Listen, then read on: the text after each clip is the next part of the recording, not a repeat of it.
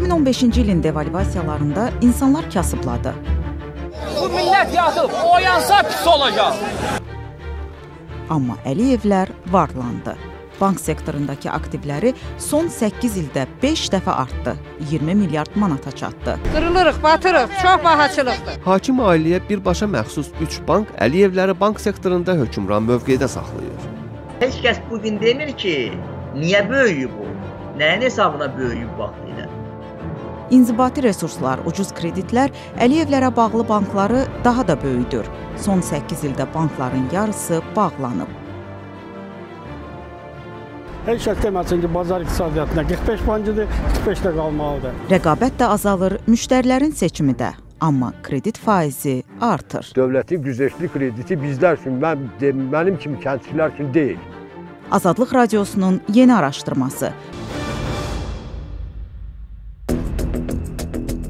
Azadlıq Radiosunun yeni araşdırmasına görə 2015-ci ildə Azərbaycanda baş verən iqtisadi böhrandan sonra prezident İlham Əliyevin ailəsi ölkənin bank sektorunda nəzarəti xeyli gücləndirib.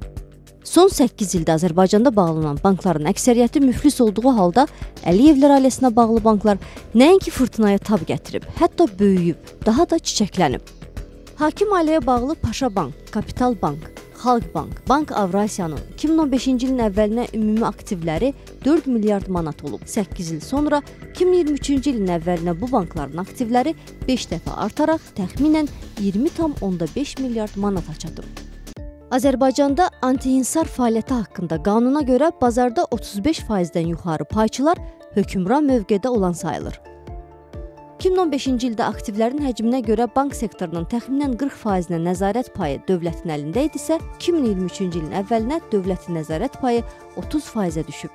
Əliyevlərin birbaşa nəzarətində olan bankların payı isə 43%-ə qədər artıb. Ümumilikdə özəl bankların bütün aktivlərinin təxminən 65%-i bu 4 banka aiddir. 2014-2015-ci illərdə dünya bazarında neftin sürətlə ucuzlaşması iqtisadiyyatı neftdən asılı olan Azərbaycanda iqtisadi böhranla nəticələndi. Azərbaycana xarici valyuta axını azaldı. Dollara artan kəskin tələbat Azərbaycan manatının 1 ildə 2 dəfə dəyər itirməsi ilə nəticələndi. 1 dollar 78 qəpikdən 1 manat 55 qəpiyə qədər bahalaşdı. Devalvasiya Azərbaycandakı banklara ciddi təsir göstərdi. Sonuncu 2015-ci ilin dekabrındakı devalvasiyadan sonra 2016-cı ilin dekabrına kimi bir il ərzində ölkədə ondan çox bank bağlandı. Onlardan 4-ünün lisenziyası bir həftənin içində ləğv edildi. Ümumilikdə isə 2015-2016-cı illərdə Azərbaycanda 13 bank bağlandı. 2015-dən 2023-cü ilin sonuna kimi isə bağlanan bankların sayı 22-yə çatdı. Onların əksəriyyəti də müflisləşərək lisenziyası ləğv edilib.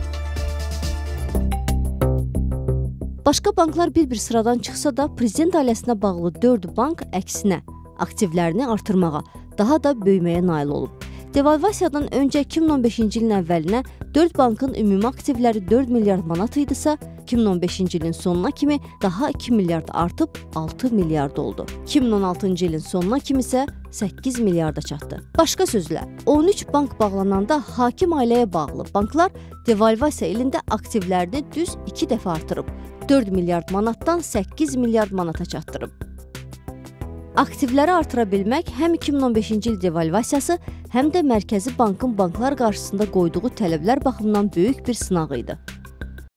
Belə ki, Mərkəzi Bankın 2012-ci il qərarına əsasən bankların məcmu kapitalı minimum 50 milyon manat olmalıdır. 2015-ci ilin yanvarına kimi bütün banklar bu tələbi yerinə yetirməli idi. Nəinki devalvasiya ilində, sonrakı illərdə də əksər banklar məhz bu tələbi yerinə yetirə bilmədiyi üçün bağlanıb. 2023-cü ildə də iki bank bu sınaqdan keçə bilmədi. 2023-cü ilin mayında Günay Bankın, oktyabrında isə Muğam Bankın lisenziyası ləğv edildi. Səbəb də eyni idi: məcmu kapitalının azlığı. 2015-ci ilin əvvəlinə Azərbaycanda 45 bank vardısa, 2024-cü ilin əvvəlinə bankların sayı 50% azalıb, 23 olub. Bankların azalması ilə Əliyevlər ailəsinin bu sektordakı hökmran mövqeyi daha da möhkəmlənir.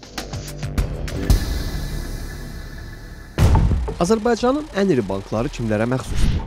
Azadlıq Radiosunun araşdırmasından məlum olur ki, aktivlərin həcminə görə top 5-likdəki bankların 3-ü prezident İlham Əliyevin ailəsinə məxsusdur. Paşa Bank, Kapital Bank və Xalq Bank. Hər üç bankın illik maliyyə hesabatına görə onların yekun nəzarətçiləri birbaşa Leyla və Arzu Əliyevalar. Birinci vitse-prezident Mehriban Əliyevanın atası Arif Paşayevdir. Kapital Bankın 99,89 faizi Paşa Holding MMC-yə məxsusdur və bankın tam mülkiyyətçiləri Leyla Əliyeva, Arzu Əliyeva, Arif Paşayev və Mircamal Paşayevdir. Paşa Holding Azərbaycanda iqtisadiyyatın maliyyə, tikinti, turizm, otel şəbəkələrinə sahib olan ən iri holdinqlərindən biridir. Paşa 1-ci vitse-prezident Mehriban Əliyevanın qızlıq soyadı ilə bağlıdır. Paşa Holding həm də Paşa Bank Açıq Səhmdar Cəmiyyətinin 57% payına səhmdardır. 28% Bless MMC-yə, 10% Arif Paşayev və 5% isə Mircamal Paşayevə məxsusdur.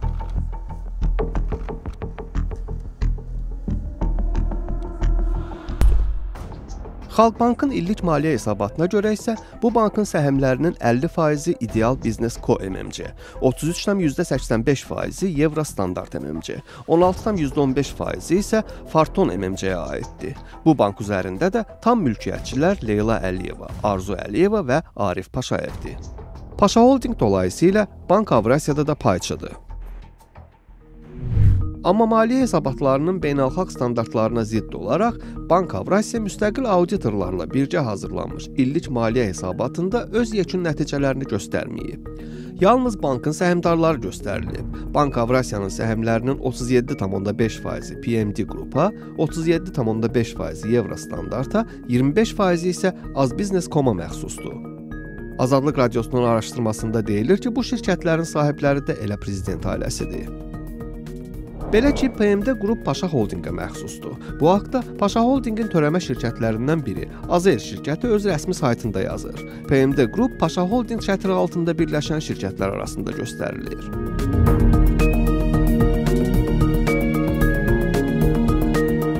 Digər 37,5%lik səhmlərin sahibi isə Evrostandarddır.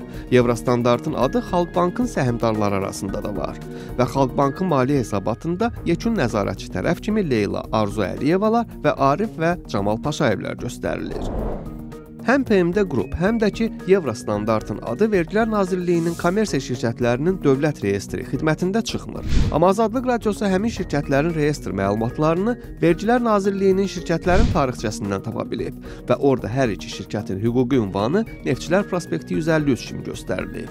Bu ünvanda da Paşa Holdinqin və bu holdinqə məxsus şirkətlərin yerləşdiyi elə Paşa Holdinqin özünə məxsus Port Baku yerləşir. O ki qaldı Bank Avrasiyadakı 25%lik səhmlərin sahibi Az Biznes.com-a bu şirkətin də hüquqi təmsilçisi prezident ailəsi ilə sıx biznes əlaqələri olan Əşrəf Kamilov olub. Azadlıq Radiosu Bank Avrasiyaya sorğu yollayıb. Bankın yekun nəzarətçiləri haqqında və bu məlumatların niyə maliyyə hesabatında göstərilməməsi ilə bağlı açıqlama istəyib, amma sualları cavabsız qalıb. Azadlıq Radiosunun araşdırmasından məlum olur ki, Bank Avrasiyanın payı nəzərə alınmasa belə, hakim ailəyə birbaşa məxsus 3 bank Əliyevləri bank sektorunda hökmran mövqedə saxlayır.